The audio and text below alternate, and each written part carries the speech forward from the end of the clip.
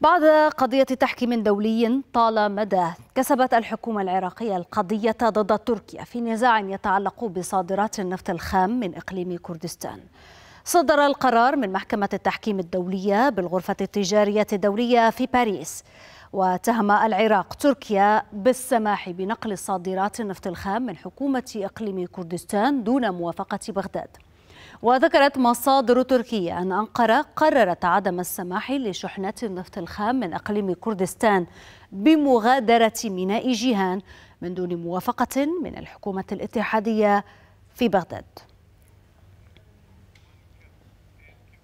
لمزيد من المتابعة ينضم إلي من أربيل مراسلنا هو عزيز. هيوة إذا هل من ردود فعل من إقليم كردستان؟ هل كان القرار متوقع؟ وبالتالي هل هناك أيضا بدائل بالنسبة لأربيل.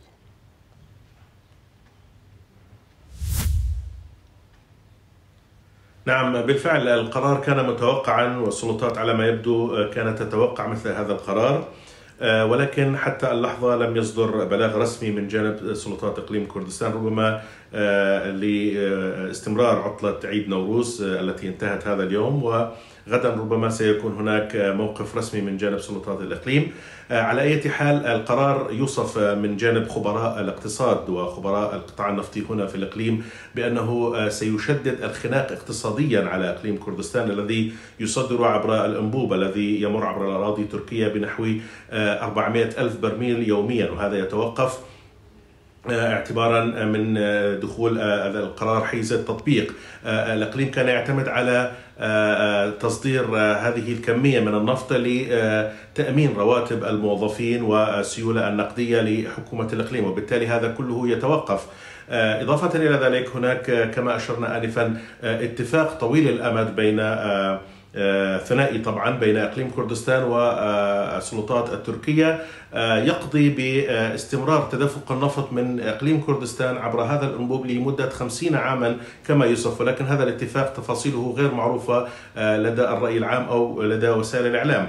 على أي حال الاتفاق أو القرار الذي سيدخل حيز التطبيق سيشكل عبء اقتصادي كبير على إقليم كردستان ولكن بالمقابل تركيا التي تكفلت بمد الأنبوب والذي يمر طبعا بحوالي 200 كيلومتر داخل الأراضي التركية. هذه الكلفة ستكون خسارة كبيرة للجانب التركي التي كانت تتقاضى يعني رسوم على تصدير النفط العراقي عبر الأنبوب المار عبر أراضيها. ولكن بالمقابل ربما قدمت السلطات العراقية ورقة رابحة لتركيا لكي تتغاضى عن هذا الموضوع من خلال إبرام اتفاق يقضي بمد خط بري من ميناء الفاو مستقبلا وبين الأراضي التركية لنقل البضائع بين الطرفين. وهذا طبعا يعود بالفائدة على تركيا فائدة اقتصادية كبيرة. ولكن الإقليم بطبيعة الحال سيكون في حل على الاتفاق الثنائي المبرم بين الطرفين. نعم بالتأكيد شكرا جزيلا لك. إذا هو عزيز مراسلنا من أربيل على هذه المداخلة وهذه الإيضاحات.